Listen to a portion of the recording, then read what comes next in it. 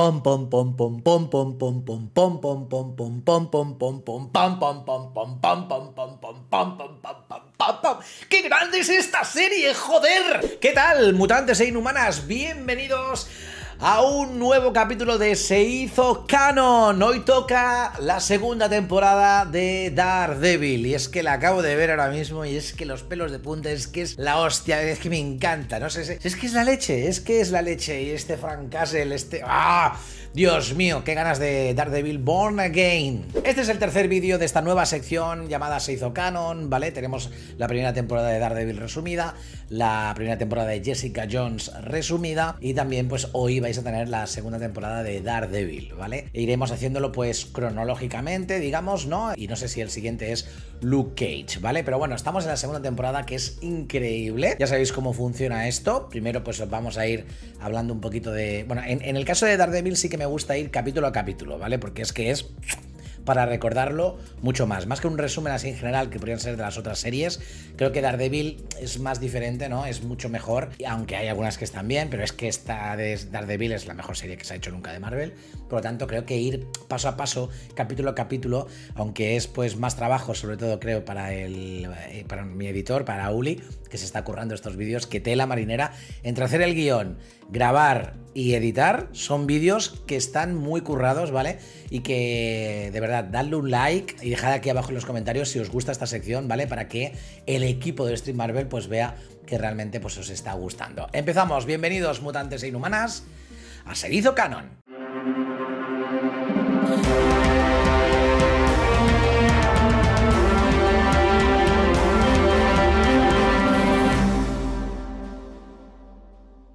Vamos con el episodio 1 llamado Bang.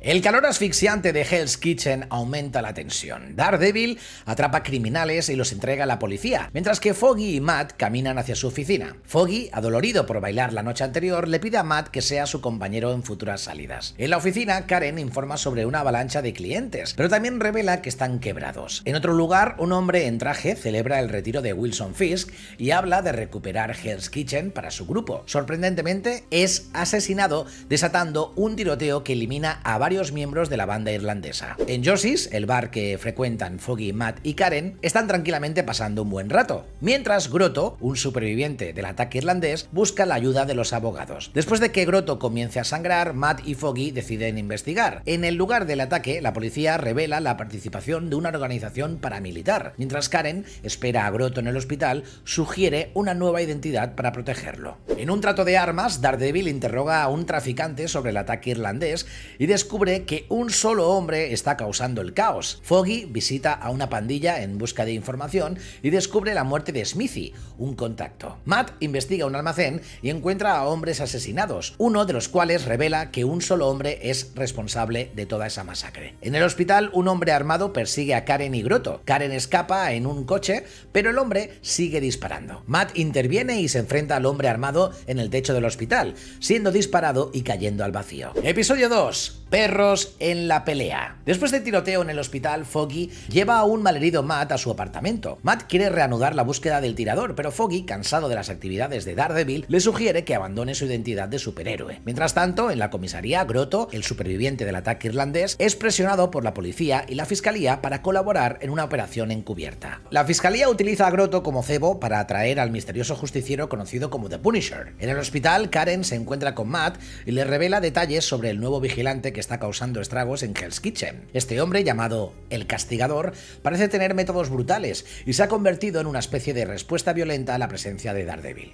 Mientras tanto, Matt experimenta problemas con sus sentidos mejorados, lo que le lleva a buscar la ayuda del sastre Melvin Potter para reparar su traje dañado. Melvin sugiere que el Castigador podría haber matado a Matt, pero optó por no hacerlo, lo que plantea preguntas sobre las intenciones del nuevo vigilante. Grotto, bajo presión, acepta participar en la operación encubierta con un micrófono para recopilar información sobre un traficante llamado Edgar Brass. Sin embargo, la operación toma un giro inesperado cuando Punisher aparece, desencadenando un enfrentamiento con Daredevil en un techo cercano. La lucha entre Daredevil y el castigador atrae la atención de la policía y la fiscalía, pero ambos vigilantes desaparecen misteriosamente. Episodio 3. El orgullo de Nueva York. En un sueño, una monja cuida de la versión infantil de Matt, quien está sangrando. Matt despierta atado con cadenas en una cornisa donde Punisher lo confronta. Enojados por la fallida operación encubierta del fiscal del distrito, Karen y Foggy se enfrentan a sus propios dilemas éticos. Punisher apoda rojo a Matt y revela su nombre como Frank. Discuten sobre la moralidad de los métodos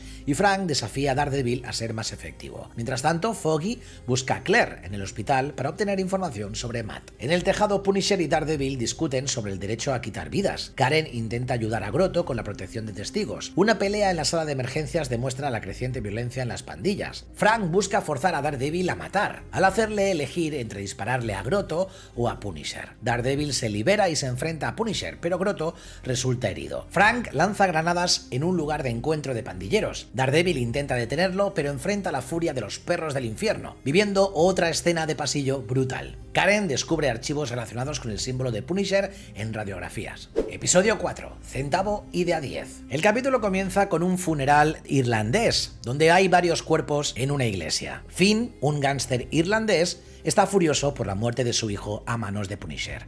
Este jura venganza. Los irlandeses inician una violenta búsqueda de Punisher por toda la ciudad. En el funeral de Grotto, Matt busca redención, pero el sacerdote le aconseja que la culpa es una señal de que su trabajo no ha terminado. La investigación de Karen sobre archivos sugiere un encubrimiento y ella decide emprender su propia investigación. Mientras Matt, Foggy y Karen discuten sobre los archivos de Punisher, Foggy propone abordar un caso no criminal, pero Karen se va con los archivos. Daredevil recoge su traje mejorado de Melvin, Karen investiga a George Buck, quien revela que el Punisher estaba en coma antes de resucitar. Frank, que se encuentra en un parque donde hay un tío vivo, es capturado por los irlandeses. Daredevil escucha por la radio de la policía sobre ese ataque y busca información sobre Punisher en la escena del crimen. Los irlandeses capturan a Frank, amenazan con torturar a su perro y exigen su dinero. Karen irrumpe en la antigua casa de Frank y descubre detalles de su pasado. Mientras, los irlandeses abren el maletín con el dinero y explota. Daredevil aparece donde está Punisher y entre los dos pues derrotan a Finn, ¿no? Y a todos los, los súbditos.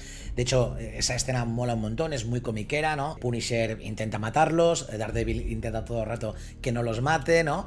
Y acaban escapando. Dándonos John Berthal, ya pues cuando ha escapado, ¿no? Y está en un cementerio, una de las mejores actuaciones del UCM jamás vistas. Esa escena, donde habla de su pasado, es crema de la crema. Además, justo en ese momento aparece la policía, aparece eh, Mahoney, ¿no? El, policía que siempre está pues, relacionado con, con Matt y Foggy. Ese momento está muy bien porque Daredevil se da cuenta, ¿no? Que realmente Nueva York lo que necesita es policías buenos, ¿vale? Y ve en Mahoney una oportunidad para que pueda, digamos, escalar, ¿no? En su trabajo. ¿Cómo? Pues diciéndole a todo el mundo que él ha sido el que ha encontrado a Punisher. Y la verdad es que para su carrera le va genial porque se convierte en un detective más potente. Deja, digamos, de ser policía de calle. Al final del capítulo, Karen y Matt pues tienen un momento más íntimo, pero cuando entra en su casa Matt, descubre que dentro estaba una antigua novia, Electra. Episodio 5. Kimbaku. Este episodio nos adentra en un flashback que revela la tumultuosa relación de hace 10 años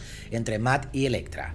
Durante esta época, la pareja experimenta momentos de rebeldía y complicidad, desde visitar el gimnasio de boxeo de Matt hasta enfrentarse al asesino de su padre. A pesar de su amor, su relación llega a su fin cuando Matt se niega a asesinar al culpable. En el presente, Electra irrumpe en el apartamento de Matt en busca de su ayuda legal para enfrentarse a la Roxxon Corporation, pero él se muestra en enfadado y se niega. Karen, molesta por la distorsionada imagen de Punisher en los medios, decide investigar el pasado de Frank Castle y traiciona la confianza de Matt al irrumpir en su casa. Mientras tanto, la asistente del fiscal de distrito exige los archivos del caso Grotto, pero Foggy se mantiene firme en la necesidad de una orden judicial. Electra y Matt participan en una reunión con Roxxon que se ve interrumpida por problemas técnicos. Ella ha pirateado el sistema. Karen, enfadada por la injusta percepción de Frank, busca pruebas en los archivos de un periódico y descubre la conexión de Castle con una guerra de bandas. Enfrentándose a la trágica realidad de Castle, Karen negocia con el editor del periódico para obtener acceso a archivos más profundos. Mientras tanto, Matt y Electra se disponen a pelear de nuevo juntos contra la Yakuza, enviada por el dueño japonés de Roxxon.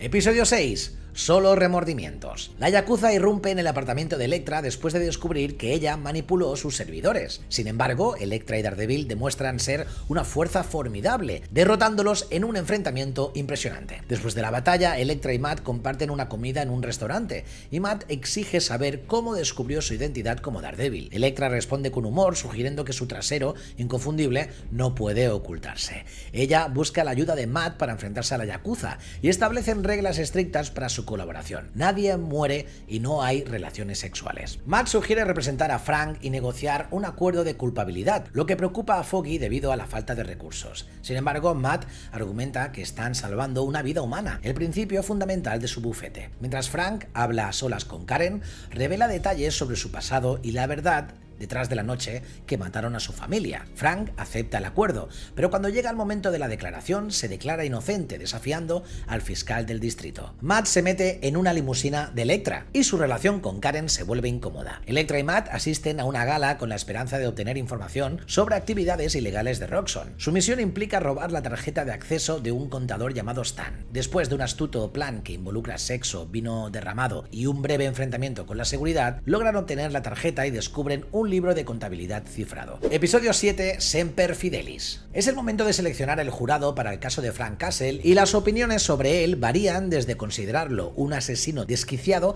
hasta un héroe que aborda el crimen de una manera que la policía no puede. El equipo legal, compuesto por Foggy, Matt y Karen, contemplan la estrategia de argumentar la locura, pero Frank se niega ya que considera que sería un insulto a los veteranos con trastorno de estrés postraumático. Deciden buscar la manera de convencer al médico forense de que admita la manipulación de los informes sobre la muerte de la familia de Frank, aunque parece una tarea difícil. Matt, quien debería realizar las declaraciones iniciales, llega tarde después de pasar la noche luchando contra el crimen con Electra. Esto proporciona a Foggy la oportunidad de destacar en la corte, presentando una declaración inicial convincente que destaca la situación de Frank, un soldado que dejó una guerra solo para encontrarse en medio de otra en las calles de Nueva York. La tensión crece entre Matt y Foggy, ya que el primero no está dedicando suficiente tiempo al caso y mantiene en secreto su relación con Electra. La relación de trabajo entre Matt y Karen también se ve afectada cuando descubren que no están de acuerdo sobre el destino de Punisher. Matt quiere encerrarlo, mientras que Karen no está tan segura, lo que marca su primera gran disputa. Después de una noche de combate e investigación con Electra, Matt reflexiona sobre su pasado romántico con ella, y ambos se concentran en descifrar una página encriptada del libro de contabilidad de la Yakuza. Al descubrir que es un registro de próximos envíos,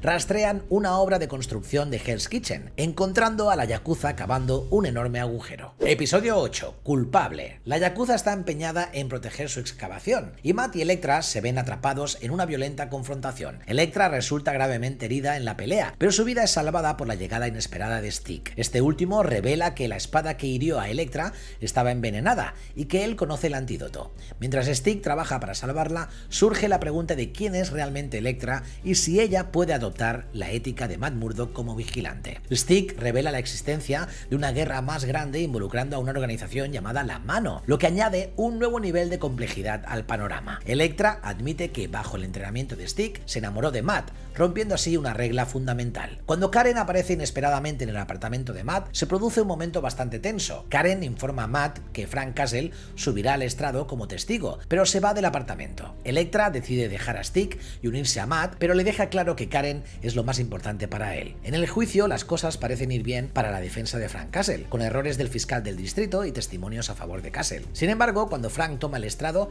las cosas se complican. Matt pronuncia un emotivo discurso sobre la necesidad de vigilantes en la ciudad, pero Frank interrumpe diciendo que disfruta matando criminales y que lo haría de nuevo. Esta revelación impactante pone en duda el enfoque de Matt en el caso. El episodio culmina con una sorpresa en la prisión, donde Frank es llevado a un encuentro con Wilson Fisk.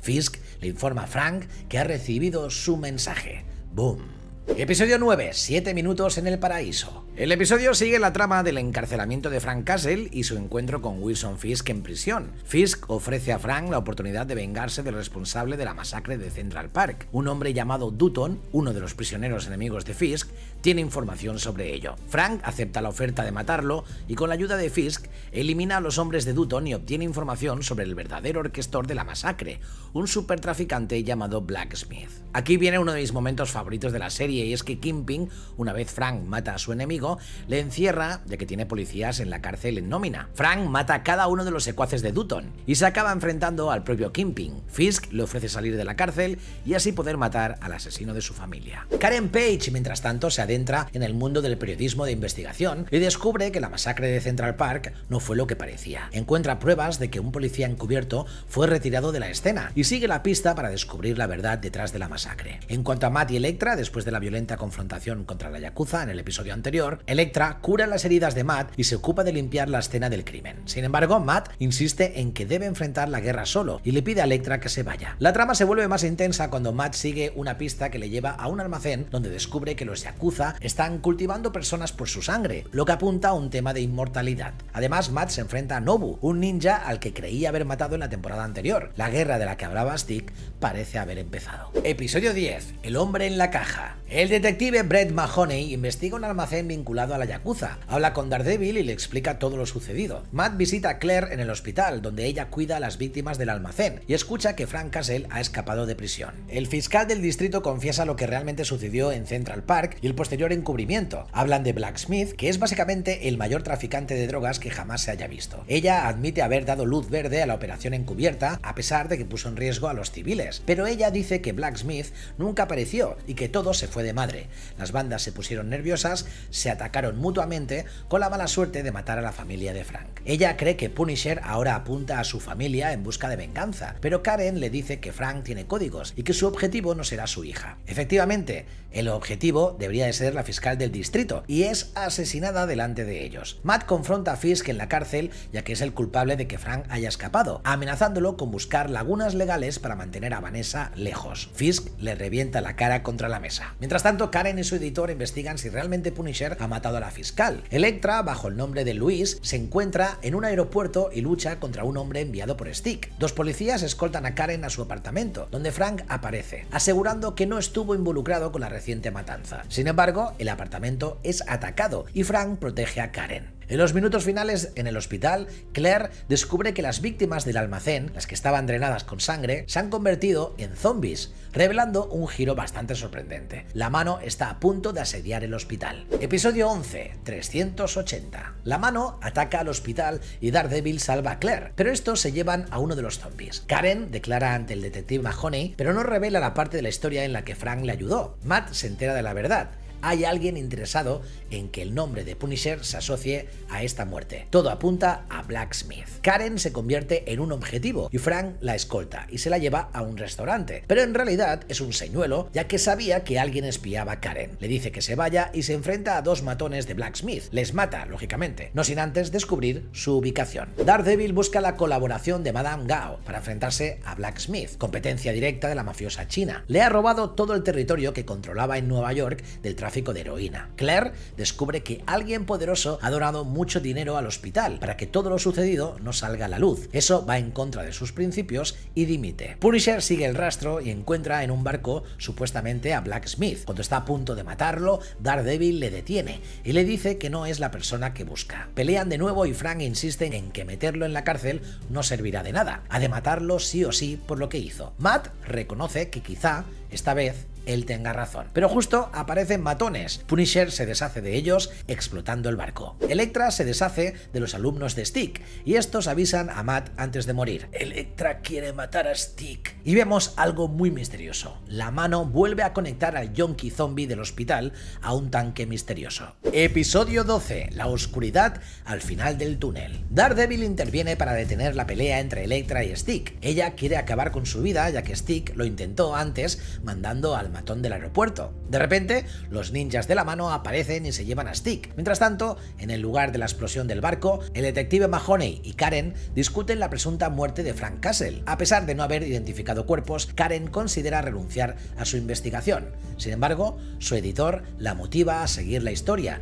recordándole que Punisher no es un asesino a sangre fría. Karen visita al coronel que testificó en el juicio de Frank y descubre información sorprendente sobre él. Él es Blacksmith. El coronel la toma como rehén y se la lleva en el coche, pero Frank le embiste con una furgoneta. Punisher se enfrenta al coronel, le mata y descubre un arsenal de armas que le vendrá de lujo para su cometido, matar uno a uno a todos los implicados en la muerte de su familia. Mientras tanto, Daredevil escucha la tortura de Stick por la mano y lo rescata a tiempo. Electra ataca a Stick, pero Nobu revela que Electra es el cielo negro de la mano. Les fue arrebatada de niña y sostiene que ella es el arma viva definitiva. Además, se revela en un flashback que Stick quiso salvarla de pequeña, dejándola en una familia rica para no levantar sospechas y que la mano no la encontrase.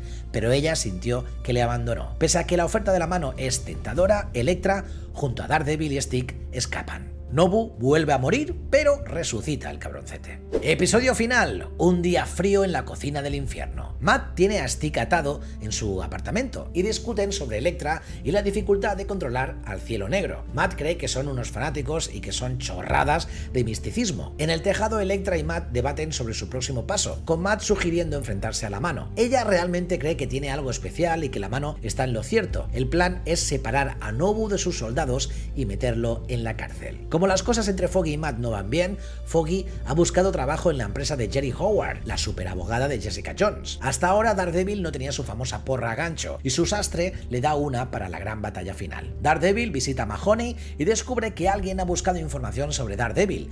Alguien muy poderoso quiere saber a quiénes ha salvado durante todo este tiempo. Karen, una de esas personas, es secuestrada por la mano, quien la llevan junto a otros rehenes vinculados a Daredevil. Electra advierte a Daredevil de que es una trampa, pero él se lanza a la acción para salvar a los cautivos. Una vez salvados en un almacén, Daredevil lucha contra la mano con la ayuda de Electra. A pesar del respaldo de la policía, Matt y Electra asumen que podrían morir. Electra revela que quiere estar con Matt, ya sea románticamente o como compañeros justicieros. En la batalla final, Daredevil está a punto de ser atacado mortalmente por Nobu, pero Electra se interpone y muere en los brazos de Matt. Punisher, ya con el logo de la calavera, le cubre y aparece brevemente para ayudar a Rojo antes de retirarse. Si no lo he dicho, rojo es como le llama eh, Punisher a Daredevil. Eh, red.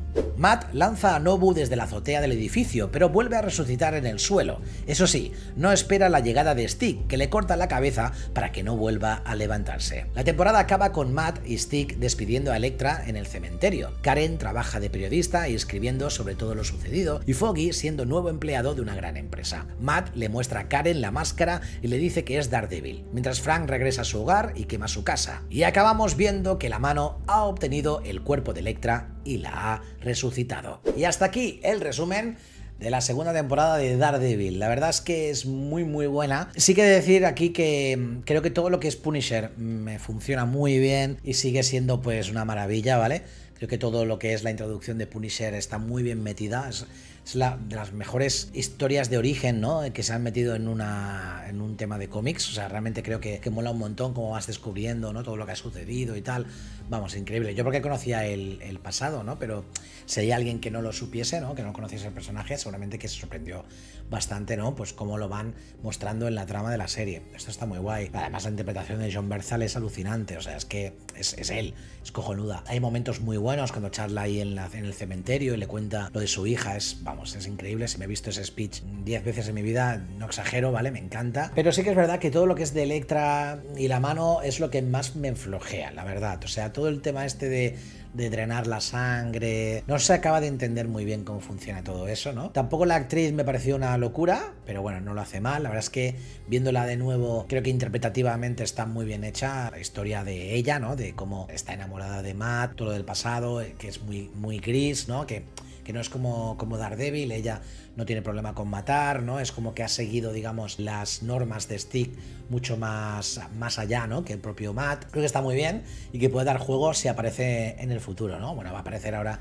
en Defenders, pero que, que, bueno, que luego a lo mejor pues la veremos más, quién sabe. También está muy bien, ¿no? Toda la trama de Foggy y Matt separándose, ¿no? Porque él pues sabe que es Daredevil, pero no, no puede con ello y los dos pues se enfadan y tal, ¿no? También eso afecta un montón a Karen, no sé, creo que realmente avanzan los personajes, ¿no? Ves la primera temporada y ves esta y no están en el mismo sitio y eso a mí me gusta, ¿no? Que, un personaje vaya avanzando, ¿no? Y vaya abriendo otros temas. Sí que es verdad que ya llega un punto en que Karen no es como que están todos los enverdados, o sea, realmente eh, Mahoney lo dice, dice, tía, estás en todos lados, es que es verdad, ¿no? Increíble las peleas de Punisher y Daredevil, increíble la, pelea del, pasillo de Daredevil en el tercer capítulo, si no recuerdo mal, también la escena de Punisher en la cárcel, ¿no? Matando a todo el mundo ahí y cada vez más cubierto de sangre, es brutal el momento de Matt Murdock, abogado contra Fisk, ¿no? Donde le revienta la, cara. Bueno, tiene escenas que son alucinantes. Y ya te digo, o sea, todo lo que es la mano es lo que más me flojea. Es como que, bueno, sí, pero no,